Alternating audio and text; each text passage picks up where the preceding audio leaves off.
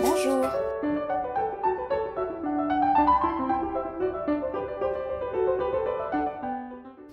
Sortir un premier roman, ben, ça fait très plaisir, bien sûr. C'est l'aboutissement d'un long travail.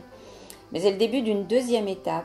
Et le travail d'écriture, c'est un travail solitaire, un travail tourné vers l'intérieur. Dans la deuxième étape, il faut se tourner vers l'extérieur, aller au devant des lecteurs, s'exposer au regard des autres, et ce n'est pas le plus facile.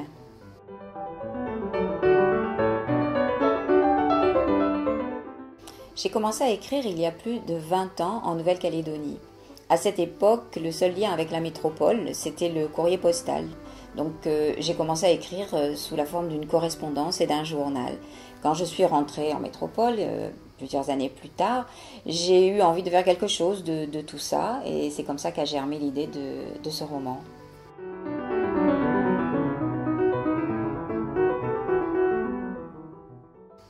Une énorme différence entre euh, le départ. au départ, c'était des lettres, euh, un journal. c'est devenu un roman. Euh, entre-temps, j'ai évolué. Donc, je dirais que mon ma propre évolution a nourri le roman et l'écriture du roman a nourri mon évolution.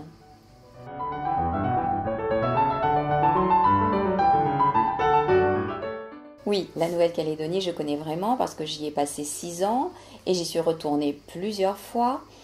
Je dirais que ce sont des années essentielles dans ma vie et j'ai rencontré là-bas des gens hors du commun.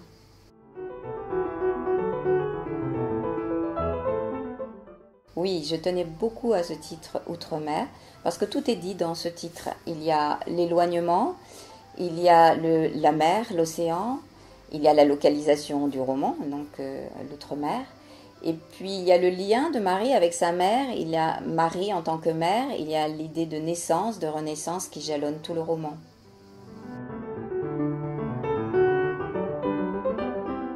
C'est l'histoire d'une jeune femme, Marie, qui quitte la France métropolitaine pour suivre son mari en Nouvelle-Calédonie. Ils ont deux enfants. C'est un projet magnifique, mais dans ce décor lumineux de carte postale, Marie ne, ne trouvera pas son bonheur. Il va y avoir des drames, des chagrins, des colères. L'univers de Marie va s'effondrer et puis viendra le temps de la reconstruction.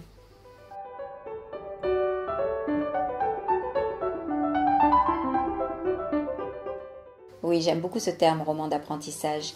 Le roman d'apprentissage est centré sur l'évolution du héros jusqu'à son épanouissement. Et c'est vraiment euh, le cas de, de, Marie dans ce roman, puisqu'elle est dans une dynamique de maturation et d'individuation psychologique.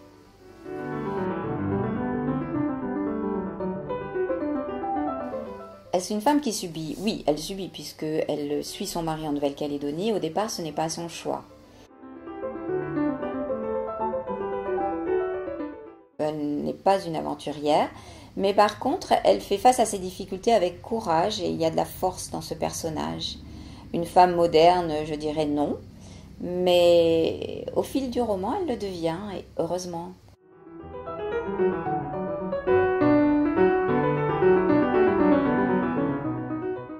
Non, l'isolement ne, serait pas aussi fort. D'abord, je pense que les jeunes femmes comme Marie, euh, de nos jours, sont beaucoup plus aguerries.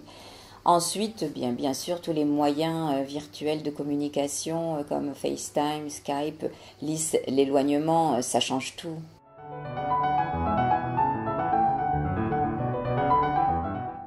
Non, Célanie, je ne l'ai pas rencontré, je le regrette. Mais j'ai eu envie de créer ce personnage et de créer cette amitié entre ces deux jeunes femmes euh, c'était un moyen pour moi de parler de la culture kanak de l'intérieur à travers un échange bienveillant entre ces deux amis, euh, sans porter un regard d'ethnologue.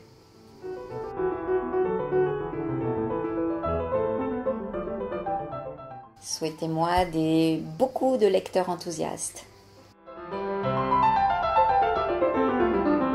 Merci à vous.